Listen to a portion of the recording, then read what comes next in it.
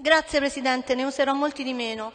Per fortuna che noi questa delibera l'abbiamo eh, già letta, approfondita e, e esaminata nella Commissione congiunta eh, con patrimonio e politiche sociali, perché se avessi dovuto capire eh, quello che c'era scritto dall'intervento dei proponenti eh, che hanno fatto in discussione generale, io avrei potuto capire di tutto perché hanno parlato dei massimi sistemi, ma della delibera non ne hanno eh, fatto parola, oltre che citare la motivazione per cui l'hanno prodotta.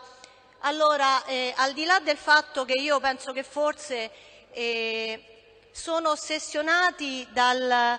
dai migranti e dai nomadi e eh, da tutti quelli che non sono italiani più di quanto Berlusconi non lo fosse dalle toghe rosse e quindi forse dovrebbero farsi qualche domanda. Probabilmente le risposte però sarebbero sbagliate se se le danno loro. Io vorrei dire che questa delibera, come già evidenziato dalla mia collega Vivarelli,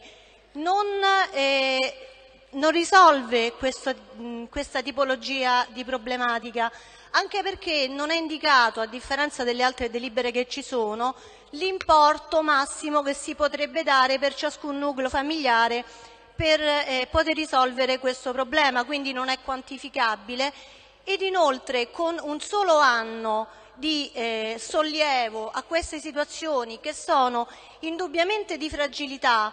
e visto il reddito ISE massimo che è previsto che è di 5.000 euro, sarebbero un tampone ma non riuscirebbero senza altri adeguati tipi di sostegno a risolvere questa problematica. Eh, noi già stiamo pensando eh, di risolvere e di modificare la 163, probabilmente anche la 154, però quello che voglio dire è che qui è sbagliato proprio il concetto, e cioè quando una famiglia è in difficoltà, quando una persona è in difficoltà, è in difficoltà a prescindere se sia residente qui da un anno, due, tre, cinque, sette, dieci e quando vengono citati in aula degli esempi, tipo che una famiglia italiana viene sgomberata e invece una famiglia eh, di colore viene, gli viene assegnato un appartamento, magari ci stanno delle motivazioni perché quella italiana viene sgomberata e magari ci sono delle motivazioni anche perché viene assegnata l'appartamento a una famiglia di colore, perché magari ha presentato regolare domanda e stava in lista.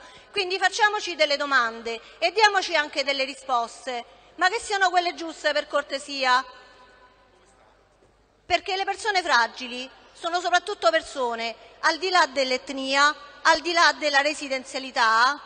e non è con queste misure che si contrastano queste cose, perché il L'insofferenza e i mal di pancia non devono essere fomentati dalla parte politica, però pare, che questa cosa proprio non voglia essere presa in esame.